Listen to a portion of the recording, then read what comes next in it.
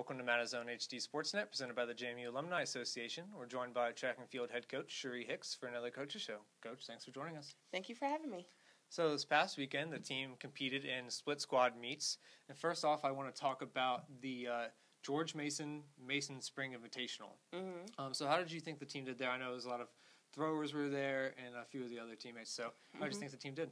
Well, we took the throwers and we took the distance group as well to the uh, Mason meet, and I thought that considering the conditions that we uh, competed in, it was snow at time, it was just straight ice at time, it was windy. The wind had to be over. Well, Coach Rinker was saying it was a 30 degree wind chill. So for our girls to persevere through that and compete, just like with everybody else, um, I thought that they did a pretty good job. People weren't too far off of their personal best. Um, we had people close to their top throw for the season, our top um, marks for the season. And so, considering the conditions and that everybody else had to compete under that as well, um, I thought we did pretty good.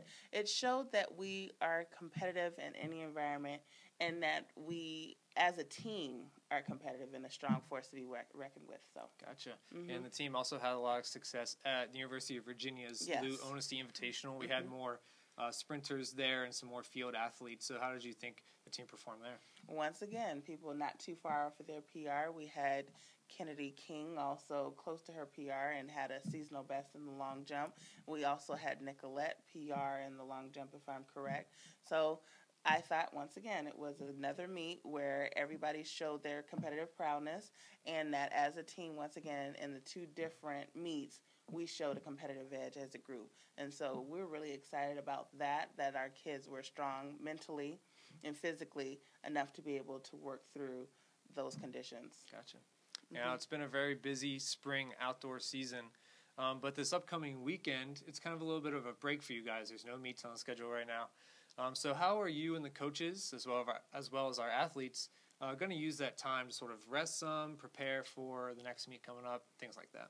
Well, a lot of the coaches were using this opportunity as a time to uh, review what's been going on so far in the last couple of meets and to work on the things that we've identified that we needed to work on and strengthen on some of the weaker areas or not so strong areas. Um, so that's what we're doing, going back, uh, tweaking some of the small things, uh, and getting ready for our next meet at home. So that's what we're doing. Exactly. Yeah, the weekend after the break, mm-hmm. um, we have the JMU Home Invitational, which is really exciting for a lot of people. It's our one home meet that we get to host every year. Yes. Um, so, how are you and uh, everybody involved looking forward to that meet coming up? Well, we're excited. The student athletes are excited. They just can't wait to keep inviting their friends and classmates and professors and everybody on campus, the JMU community. We really look forward to seeing the community come out strong. Uh, so, that's one of our things that we're excited about rarely do we have the opportunity to compete at home, and so this gives us an opportunity to compete in front of our um, JMU community and Harrisonburg community. So we're excited about that. Awesome. Mm-hmm. Well, definitely uh, stay tuned to JMUSports.com and at track, JMU Track Field on Twitter. Uh, that home meet that we mentioned is Saturday, April 23rd. So make sure you're out at University Park uh, to root on the Dukes. Coach, thanks for joining us. Oh, thank you for having me.